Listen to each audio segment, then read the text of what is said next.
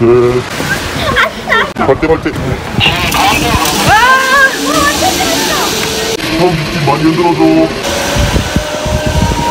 되게 좋아하네. 엄청 좋아하네. 찾아봐야겠다.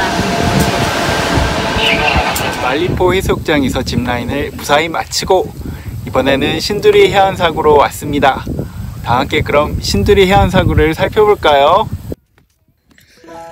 신두리 해안사고는 국내 최대 규모의 해안사고입니다.